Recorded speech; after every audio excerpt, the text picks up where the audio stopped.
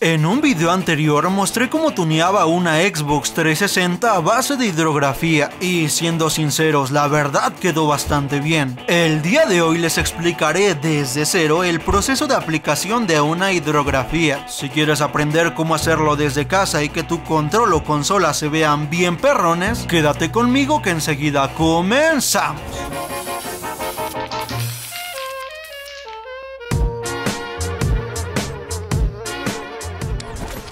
Todos mis proyectos, así como tuneos, restauración y videos de chácharas, los subo primero a mi cuenta de Instagram. Igual respondo sus preguntas por medio de historias, también hacemos diversas dinámicas. O pido su opinión y doy avisos para los siguientes directos. Si quieres enterarte primero de todos estos proyectos y ser parte de ellos, recomiendo que me vayas a seguir. Sin más que agregar, continuemos.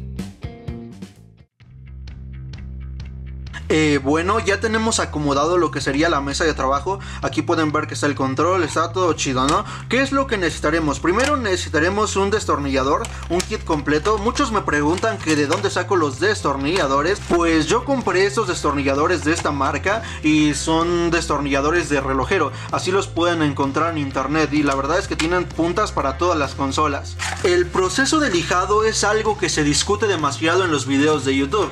Y bueno, el día de hoy yo lo voy a hacer de esa forma. Tengo una lija de agua de 120, es de grano, aquí lo pueden ver. También tengo otra lija que es de 240. ¿Cuál es el objetivo de tener dos lijas? Lo principal sería que con la lija que es más gruesa, entre menor sea el número de la lija, más gruesa va a ser. Con la lija gruesa lo que vamos a hacer es quitar todas las imperfecciones, ¿no? Que tenga por arriba. Si es que tiene pintura, con esto vamos a soltar toda la pintura. Como pueden observar, el control de Xbox One S está en íntimas... íntimas como pueden observar el control de Xbox One S está en perfectas condiciones y la verdad es que solo va a ser por el tuneo, el control no necesita restauración ni nada parecido. El proceso será el siguiente, con la lija de 120 vamos a empezar el proceso. Y después ya cuando lijemos todas las partes del control vamos a ir con la lija de 240 para eliminar todas las imperfecciones y rayones que se generen con la misma lija, es decir, si el control tuviera que algún rayón que llegó hasta el fondo de alguna cosa, no lo sé cómo lo puedan rayar ustedes los controles, esos rayones se van a quitar con la lija de 240. Entonces ese va a ser el proceso principal. Bueno, ya tenemos el control, vamos a empezar su desmontado. Muchos me piden consejos, hay personas que recomiendan el destapar este control pues con tarjetas del metro o así. Yo te recomiendo, mira, no tengo la uña tan larga, pero con las uñas es más fácil de quitar todos estos plastiquitos. Miren, es relativamente sencillo, solo es cuestión de aflojarlo. Como tu morra, un poquito se la metes y ya afloja. Desarmen el control, pero yo les voy a hacer una recomendación con las uñitas, miren, métanlas y así se sale de fácil. Solo es cuestión de tener un poco de práctica, ¿no? Y ver más o menos el ángulo con el que sale, miren, de esta forma y de la misma se quitan las dos, ¿eh? No necesitan estar ahí batallando y exponiendo el plástico con alguna cosa metálica o rajarlo, o sea, con la uña lo quitas y sin ningún tipo de problema. Ya destapado el control vamos a tener cinco tornillos. Primer tornillo, segundo tornillo, tercer tornillo, cuarto tornillo y quinto tornillo. Entonces vamos a proceder a quitarlos. Lo curioso que tienen todos los controles de Xbox, creo que hasta de Xbox 360 si no mal recuerdo, es que el destornillador tiene que tener un hoyito en medio. creo que eso no lo va a enfocar ni de pedo la cámara, pero el destornillador tiene un hoyito en medio, así que tomen eso en cuenta. Pero muchos me preguntarán, ¿no hay otra forma de sacarlo? Igual con un destornillador de raya que le queda aquí, lo puedes sacar perfectamente sin dañar el tornillo. Pero escúchame bien, de raya y que quede perfectamente. Si le queda más chiquito, la neta lo vas a barrer. Procura que le toque casi perfecto, o sea, que no se mueva y de esa forma vas a lograr a quitar estos tornillos. Yo en este caso tengo los especiales para el control, así que no voy a sufrir por ese problema.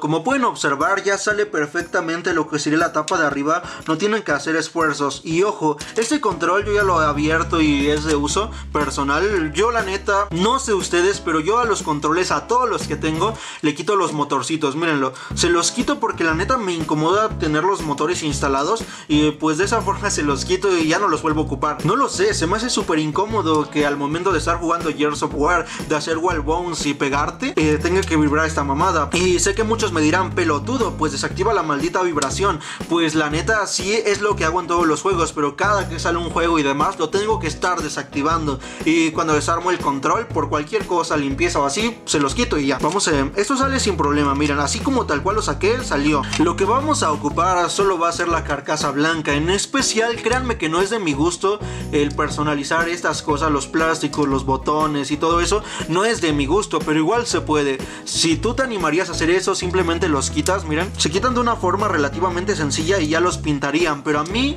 me agrada la forma de conservarlo negro. Ya saben que lo negro es mejor. Ya no soy racista. Pero bueno, en sí vamos a conservar todo esto. Y esto tal cual va a ser lo que vamos a modificar. Eh, yo les recomiendo hacerlo con la carcasa ensamblada. Es decir, para un lijado más uniforme, tener la carcasa ensamblada. Obviamente esto sí será parte porque ya es la parte frontal. Pero en sí, eh, tenerlo así la parte de atrás y lijar esto así, la neta les va a quedar un mucho mejor resultado. Eh, listo, un consejo que yo les doy para no desperdiciar tanta lija es hacer cuadritos y cuando se te acabe ese cuadrito pues ya ocupas el otro. Pero de esta forma no se van a gastar toda la hojita, sino hacer cuadritos pequeños, ¿no? Yo recomiendo sabiamente ese consejo.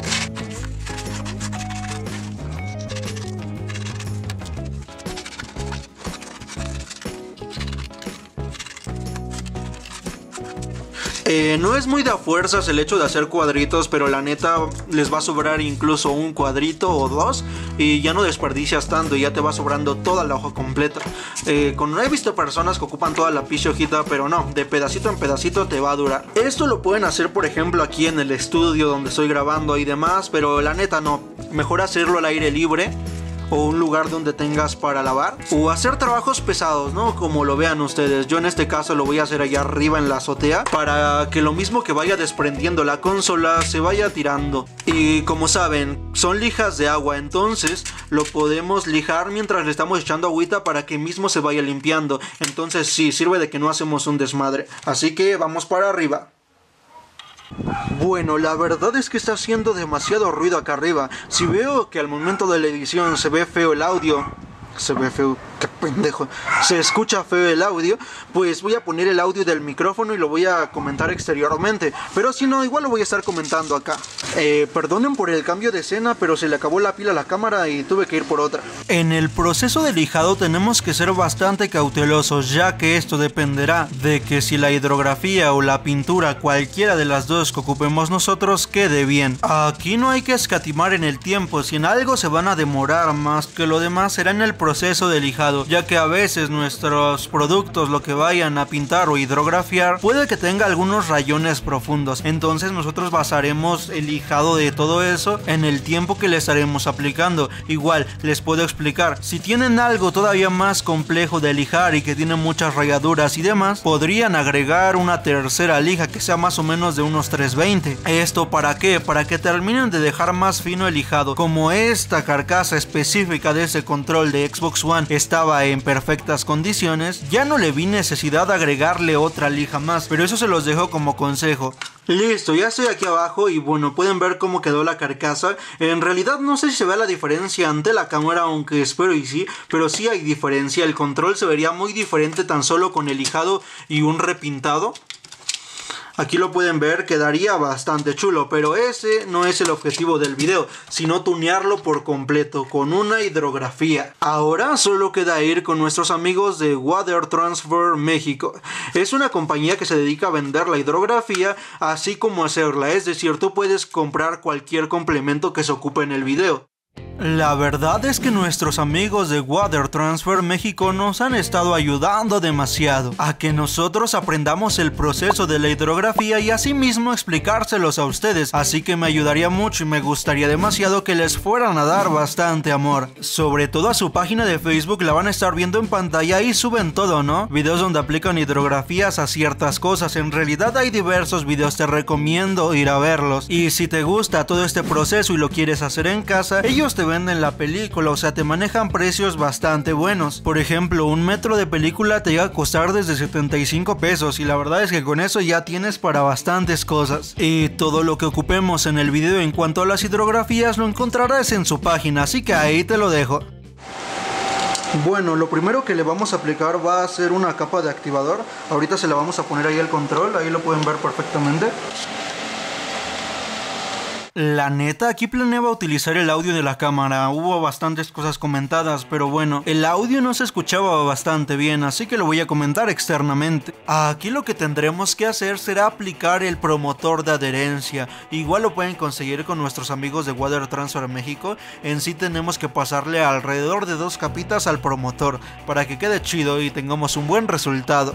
Ahora lo que haremos será poner una capa de primer, el primer es una capa de material que se aplica antes de la pintura definitiva o en este caso la hidrografía, ya que permite el sellado de la superficie y una mejor adherencia. Este sellado evita que la pintura o la hidrografía sea absorbida de forma dispareja, es decir, en este caso para que no haya deformaciones. Ahora sí viene lo chido, así que prepárense. Lo que tendremos que hacer aquí será recortar la película al tamaño de lo que vamos a hidrografiar y si estás haciéndolo desde casa y tal, te recomiendo que las orillas las cubras con algún tipo de cinta. Esto con el objetivo de que no se deforme la película a la hora de poner el activador, ya que si se deforma va a quedar bastante feo el resultado. En este caso no lo hacemos porque aquí en las oficinas de Water Transfer México tenemos estas cosas metálicas que sirven para no estar desperdiciando tanta cinta y pues está bastante chido, simplemente las acomodas al tamaño y ya.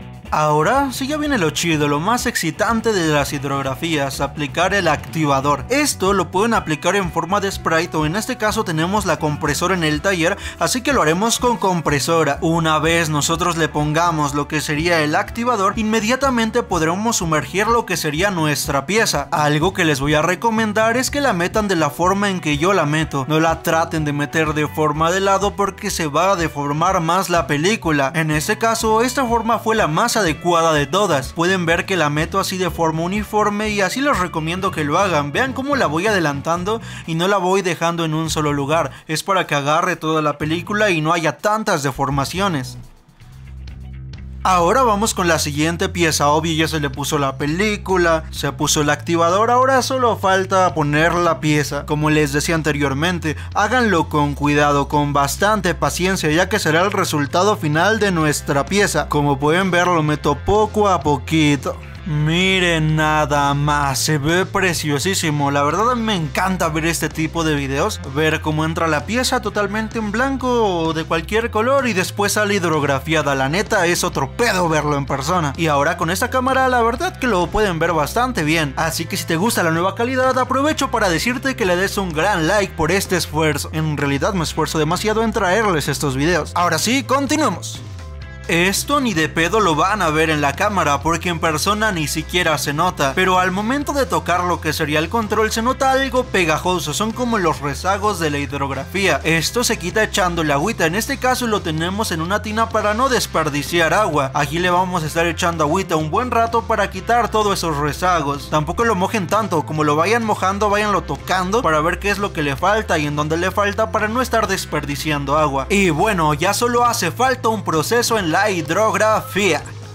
Ahora solo hace falta un último proceso de la hidrografía, aplicar lo que sería el transparente o en otro caso pueden ocupar simplemente laca. En este caso ahí en su tienda de Water Transfer México pueden comprar lo que sería el transparente y con esto le van a dar un terminado muy chingón. Es como sellar la hidrografía para que no se despinte. En este caso el consejo que me dieron ellos es que lo apliquemos en un lugar donde haya sombra, pero como sabe en julio es un mes donde hay demasiado calor, entonces lo aplicamos expliqué ahí abajito. Y ya que dejamos unos dos minutos que seque, pues lo subimos al sol para que termine de secar. Este proceso lo vamos a repetir unas 3-4 veces. Ahí lo van a estar checando y vigilando ustedes para saber cuál es el terminado que le quieren dar. Yo no muestro los cuatro procesos porque es prácticamente hacer lo mismo pero cuatro veces. Y la neta es un chingo de calor como para estar grabando, la neta. Estoy hasta sudando.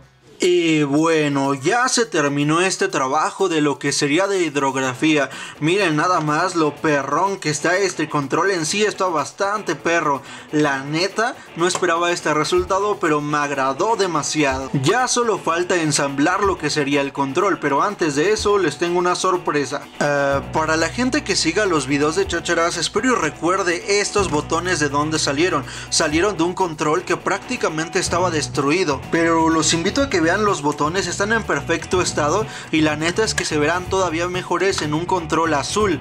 Eh, la neta se va a ver súper perroncísimo, así que los voy a instalar. Los botones quedaron perfectamente, así que el control que compramos sirvió de algo. Hubo mucha gente que dijo, ¿para qué te trajiste esa pendejada? Pero aquí pueden ver que sí sirvió de algo. Así que pues vamos a hacer la instalación. Bueno, vamos a empezar poco a poquito. La verdad estoy bastante ansioso de cómo es que se va a ver este control. O sea, hasta botones tiene, ¿eh? Vean esta belleza nada más, o sea, los botones, todo, todo encaja perfectamente. ¿Pueden ver esta belleza de control? Mírenla, en realidad quedó bastante... No manches, la neta que me estoy cagando, mírenla. Qué hermosura de control. Mira, no hombre. Ah, se ve muy bien. Pero no le he puesto los tornillos. Le voy a quitar estas carcasas de aquí. Les tengo la sorpresa de sorpresas. Miran cómo se ve completamente ensamblado el control. ¿Creyeron ver el control así? La neta es que se ve perroncísimo. Me gusta demasiado. ¡Ay! ¡Me encanta! ¿Qué les parece si hacemos algo bastante chido? La neta, este es el control el mejor que he visto en mi vida y lo he tenido en mis manos. La neta está muy cabrón. Si este video llega a 15 mil likes en esta semana, yo voy a sortear este control. Como saben, ya hay consolas y hay cosas agregadas al sorteo, pero no planeaba agregar este control. Era para mi urso personal más que nada. Pero si el video llega a esa cantidad de likes, este control se va directamente al sorteo. Así que recuerden 15 mil likes y van a tener ese control para poderlo ganar. Así que bueno, sin más que decir, este fue Expector, a.k.a. el dios de esta basura. Nos vemos hasta la próxima. Adiós. Soy el fucking good de esto que llaman planeta, donde ser diferente parece negligencia. Logran tener paz, pero la tienen con guerras. No hay misericordias y blasfemias, no existencia. Hipócritas, no lo creen así humanos. El futuro es de ustedes, no lo dejen en mis manos. ¿O acaso es que ya lo olvidaron? Deja a Jesús en las suyas y lo llenaron de clavos.